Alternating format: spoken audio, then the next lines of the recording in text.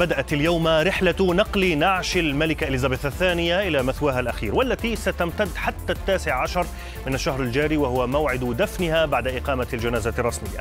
وسيمر جثمان الملكة عبر أربعة محطات أساسية قبل أن يوارى الثرى الملكة بداية توفيت بقصرها في بالمورال باسكتلندا حيث مكثت هناك لثلاثة أيام وحمل بعدها اليوم نعش الملكة من قصر بالمورال ووصل إلى العاصمة الأسكتلندية إدنبرا وتحديدا إلى قصر هوليرود هاوس في رحلة استمرت ست ساعات.